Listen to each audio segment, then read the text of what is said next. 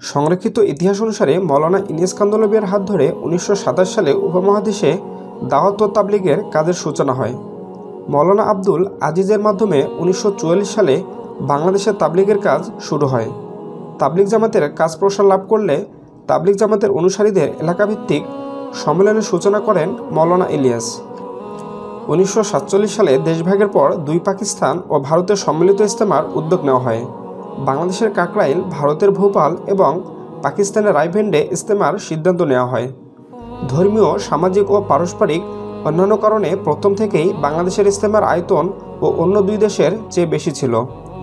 ফলে ক্রমেই তা প্রাধান্য লাভ করতে থাকে এবং বিশ্ব ইস্তেমায় রূপ নেয়। বাংলাদেশে ইস্তেমা। উনিশশো সালের প্রথমবারের মতো কাকরাইল মসজিদের ভেতরে ইস্তেমা অনুষ্ঠিত হয়।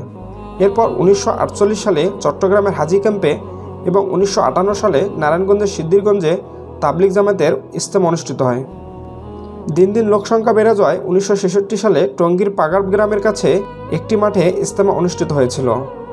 এই ইস্তেমায় বিদেশি কয়েকটি জামাতও অংশ নেয়। এখান থেকেই এর নাম হয় বিশ্ব ইস্তেমা উনিশশো সাতষট্টি সালে টঙ্গীর তুরাগ নদের পাড়ে প্রথমবারের মতো বিশ্ব ইস্তেমা অনুষ্ঠিত হয়। স্বাধীনতার পর বাংলাদেশের সরকার তুরাগ পাড়ের একশো ষাট একর জমি তাবলিগ জামাতের জন্য বরাদ্দ দেয়। দুই হাজার পনেরো সাল পর্যন্ত বিশ্ব ইস্তেমা এক পর্বে অনুষ্ঠিত হতো। তবে লোকসংখ্যা বৃদ্ধি পাওয়ায় দুই হাজার ষোলো থেকে একাধিক পর্বে ইস্তেমা করার সিদ্ধান্ত নেওয়া হয়। ইস্তেমা যেভাবে বিশ্ব ইস্তেমা কথিত আছে বাংলাদেশকে বিশ্ব ইস্তেমার স্থান হিসেবে বেছে নেওয়া হয়েছিল লটারির মাধ্যমে। তবে তাবলিক সংশ্লিষ্ট ব্যক্তিরা বলেন, বিষয়টি তাদের অজ্ঞাত।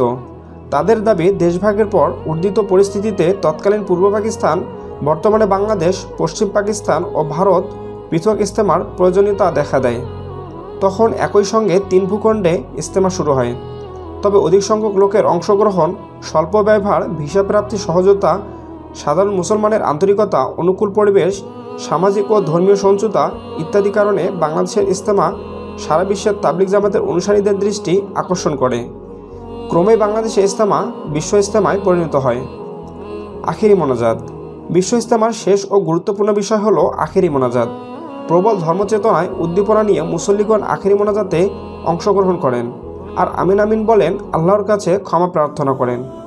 আখেরি মোনাজাতের সময় টঙ্গীর তুরাগ নদীর তীর যেন পরিণত হয় মুসল্লিদের জোয়ারে, আর আখেরি মোনাজাতের মধ্য দিয়ে বিশ্ব ইস্তেমার মূল কার্যক্রম শেষ হয়।